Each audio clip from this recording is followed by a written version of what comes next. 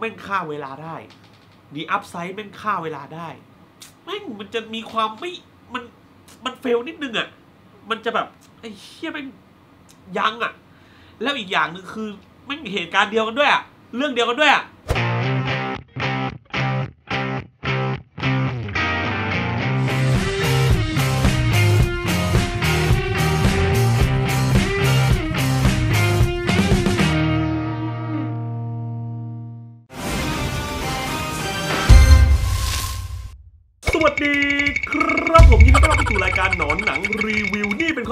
หลังชม เพราะฉะนั้นไม่ spoil วันนี้มาพูดถึงหนังเรื่องหนึ่งมันไม่ใช่หนังใหม่นะ มันไม่ใช่หนังใหม่แล้ว แต่ว่ามันยังเข้าโรงอยู่ บวกกับว่าอาทิตย์นี้เนี่ย กูจะดูเรื่องอะไรดีวะ เข้าใจปะเข้าใจ feeling ว่า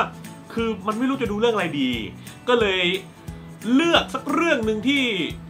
ทำให้บรรยากาศในการรับชมภาพยนตร์ในอาทิตย์นี้ของพี่ท็อปเนี่ย มันดู feel good feel good ขึ้นก็คือ The Upside เอาจริงนะ The Upside เนี่ย เป็นหนัง based on true story ที่เล่าเรื่องชีวิตของคนผิวขาวคนหนึ่งที่เป็นอัมพาตทั้งตัวนะ ส่วนตัวไม่ได้ไปรู้จักเขาอะไรมากมายหรอก ถ้าพูดชื่อผิดก็ขออภัยด้วยนะ คุณฟิลิปลาเคสเนี่ยเขาเป็นใครมาจากไหนอะไรเรารู้แค่ว่า คุณฟิลิปลาแคสเนี่ยใน The Upside เนี่ยคือ มีตัวตนจริง ๆ หนังเรื่องนี้สร้างมาจากเรื่องจริง ก็คือเป็นเรื่องราวของคุณฟิลิปลาแคสกับคุณเดลสกอตต์ที่แม่งมีชีวิตที่อยู่กันคนละมุม คุณฟิลิปลาแคสเนี่ยเป็นคนเป็นคนผิวขาวที่รวยมาก ร่ำรวย ชีวิตหรูหรา แล้วก็คุณเดลสกอตต์เนี่ยเป็นคนผิวดำที่ชีวิตแม่งอยู่อีกฝั่งหนึ่งเลยอะตกงานงานใหม่มีจนคือคนละฝั่งกันบอกก่อนว่าหนังเรื่องนี้เป็นหนังที่สร้าง จากเรื่องจริงเบสทูสตอรี่ทุกคนก็รู้ถูกป่ะ แล้วมันเป็นเรื่องเดียวกันเลยนะ กับ The Untouchable ส่วนตัวบอกตามตรง ส่วนตัวชอบ The Untouchable มากกว่า เพราะว่า The Untouchable ตอนเราดู The Untouchable เนี่ย เรารู้สึกว่าหนังมันทำให้เราลงดิ่งหนังมันดึงเราลงดิ่งไปกับ moment ตัวละครกับสิ่งที่ตัวเดลสกอตต์ต้องเจอกับสิ่งที่ตัวฟิลิปแม่งกำลังเจออยู่หน้าตอนนั้น เราอินได้มากกว่า ตอนเป็น The Upside ในปัจจุบันนี้ พูดกันตามตรงนะ The Upside น้ำหนักของอารมณ์อะที่ดึงเราเข้าให้ถึงเนื้อเรื่องอะน้ำหนักอารมณ์ตรงนั้นอะเขาดึงเราไปได้ไม่เท่า The Untouchable อะเหมือนเวลาคุณดูหนัง based on true story อะคุณมี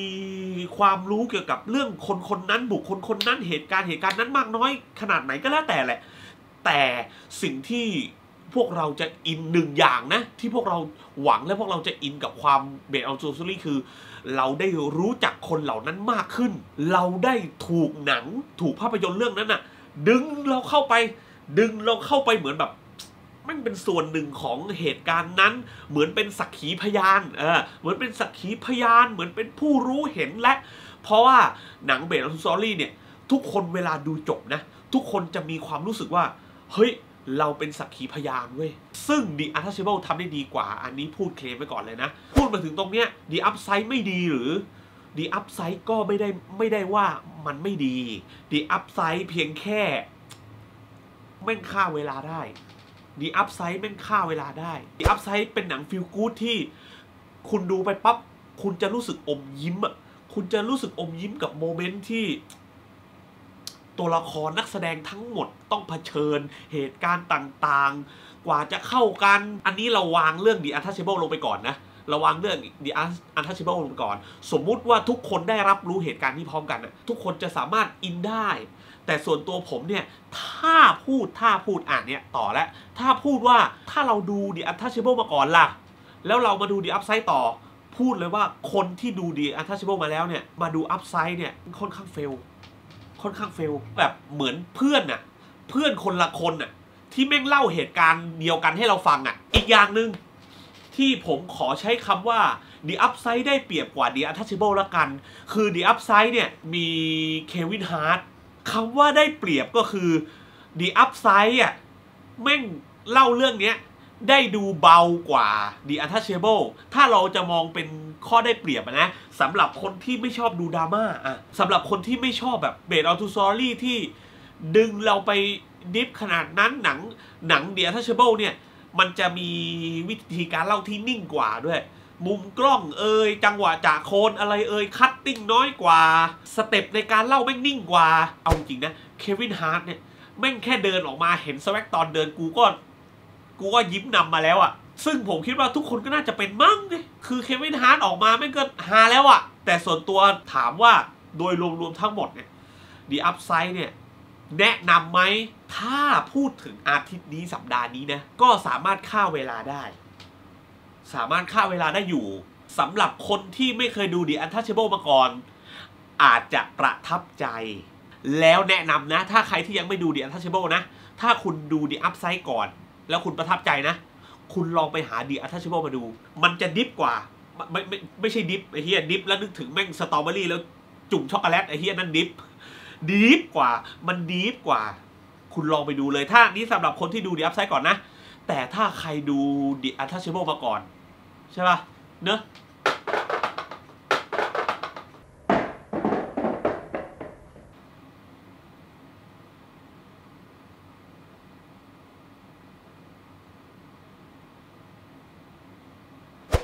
งมันจะมีความไม่มันมันเฟลนิดนึงอะ่ะ มันจะแบบไอ้เชี่ยแม่งยังอะ แล้วอีกอย่างหนึ่งคือมันมีเหตุการณ์เดียวกันด้วยอะเรื่องเดียวกันด้วยอะไอ้เฮีย The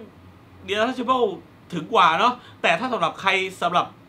สำหรับใครที่อยากดูแบบว่าผ่อนคลายเบาสมองหน่อยก็ The Upside ก็พอจะทำเนาได้ ส่วนตัวเนี่ย ถ้าเรื่องงานถ่ายนะ ชอบงานถ่ายของ The Untouchable มากกว่าด้วย เออ เนียบกว่า เนียบกว่า อะ ให้คะแนน ถ้าสมมุติเรารับรู้นะ พูดถึงการรับรู้นะ รับรู้เหตุการณ์เนี้ย ผ่านทาง The Upside กับผ่านทาง The Untouchable เนี่ย ประทับใจ The Untouchable มากกว่า เพราะฉะนั้นหนังเรื่องนี้ The Upside ผมให้ที่ 6.5 คะแนนแถมนิดนึงแถมนิดนึง ไหน ๆ ก็พูดถึง The Untouchable มาด้วยแล้วเนี่ย มันเหมือนรีวิวคู่ควบคู่กันไปอะ เพราะฉะนั้นแถมนะแถมตอนดู The Untouchable เนี่ยรู้สึกว่าตัวหนังอะ The Untouchable อะส่งอารมณ์ในโมเมนต์ต่างๆ ได้ดีกว่า งานถ่ายเนี้ยบกว่า ผมเป็นคนไม่ได้แบบว่า เฮ้ยแม่งนิ่งๆ กูชอบนิ่งๆ ไอ้เฮียกูติดกูชอบนิ่งๆ ไม่ใช่ แต่ว่าด้วยความที่อย่างที่บอกคือด้วยความที่พอเราเป็นคนทำงานปั๊บเนี่ย การทำงานเนี้ยบๆอะเรารู้สึกเหมือนแม่งแบบ หน้างานมันสะอาดแล้วมัน get ได้มากกว่า แล้วส่วนตัวผมจะชอบอันนี้มากกว่า ถ้าสมมติเป็นเรื่อง acting นะผมส่วนตัวผมชอบที่จะเห็นการ cutting น้อยๆ แล้วได้เห็น skill ของนักแสดงมากกว่า ได้เห็นอะไรมากกว่า The Untouchable อะ เรารู้สึกว่าเราได้เห็นตัวละครได้เห็นนักแสดงอะ แสดงศักยภาพออกมาได้มากกว่า เพราะฉะนั้นเนี่ย The Untouchable เนี่ยผมประทับใจมากกว่า ในเรื่อง The Untouchable เนี่ย ผมขอให้ที่ 8.5 คะแนน เอาประมาณนี้แล้วกันประมาณนี้แล้วกัน เพราะว่าส่วนตัวแล้วเนี่ย ถ้าถามแล้วอะหนัง based on true story อะผมก็เป็นคนที่ไม่ได้แบบคอ based on true story มากนักอะแปดคะแนนนี่ก็เป็นคะแนนสำหรับแบบคนที่ไม่ได้แบบโหคอ based on true story จ๋าแล้วกัน ก็ประมาณนี้แล้วกันแทนความรู้สึก ฝากไว้ด้วยครับนี่คือคลิปความรู้สึกอาจจะสั้นหน่อยอาจจะสั้นหน่อยเพราะว่าจากที่ทุกคนแนะนำก็เลยตัดสินใจเลยว่า เฮ้ยทำแยกระหว่าง spoil กับไม่ spoil พูดกันตามตรงไอคลิปไม่ spoil เนี่ยผมใช้เวลาแบบว่าถ่ายเสร็จปั๊บตัดเสร็จภายในวันเดียวกันเลยไง แล้วมันก็ง่ายไงเพราะคลิปมันสั้นแล้วมันก็ง่ายมันก็ปล่อยได้เลย อย่างแบบถ่ายเที่ยงวันนั้นเย็นก็เสร็จแล้วอะไรเงี้ยมันก็เลยจะได้ดูเร็วสังเกตว่าคลิปความรู้สึกหลังดูเนี่ยมันจะเร็ว ก็เลยส่งผลให้ว่า ปกติแล้วหนอนหนังจะปล่อยช้าไงเออพอมีความรู้สึกมาก่อนเนี่ยก็ไม่ spoil ก่อน ไม่เบียดเบียนการดูภาพยนตร์ของทุกๆ คนด้วย